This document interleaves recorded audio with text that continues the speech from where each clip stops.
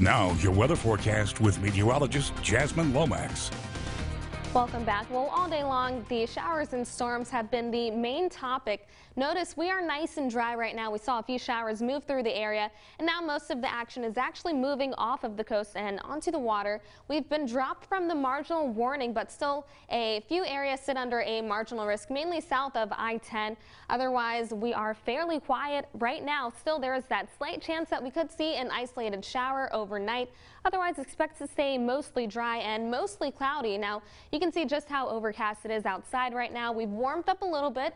Currently, we're at 79, feels like 82. Winds out of the west at around 8 miles and feel like temperatures around the rest of the area in the 70s and the 80s. Feels like 78 in Hammond, 84 in New Orleans, 75 in Thibodaux, areas closer to the coast and areas in the yellow a little bit cooler thanks to the storms that move through the area. Now our dew points are in the 70s. We're at 73. Expect this number to continue to rise into the mid 70s overnight and tomorrow. That's going to make it feel very muggy. So if you have any evening plans, you should be good to go. It will be mostly dry, but we are going to be a little bit muggy as temperatures fall into the mid 70s.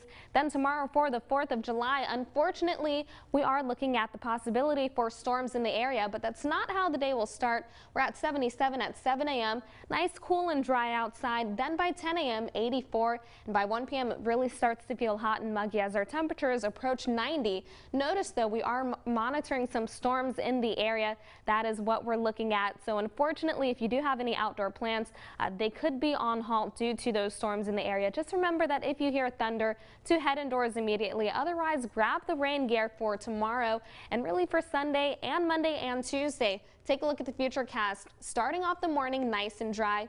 But once we make it to around noon, we start to see those showers and storms move into the area. This model has us mainly dry around 8 p.m. Could see another shower around 9, but again, mostly dry as we head into Sunday. Then we get ready for more storms in the area. And it looks like on Sunday they will be a little bit more widespread once we head into the overnight hours. We start to dry out. Then we prepare for more storms in the picture on Monday and again on Tuesday. So a bit of a wet pattern over the next four days, about a 60% chance for storms in the area tomorrow. That jumps up to 70 on Sunday and Monday. We're expecting those thunderstorms to be a little more widespread. That drops to 60 on Tuesday, and it looks like after that we finally start to dry out. Still that slight chance for an isolated shower as we end the work week.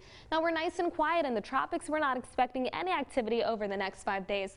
But again tonight dropping to about 74. A few early showers are possible, but otherwise we stay mostly cloudy. Then Saturday 91. A few scattered storms for your 4th of July.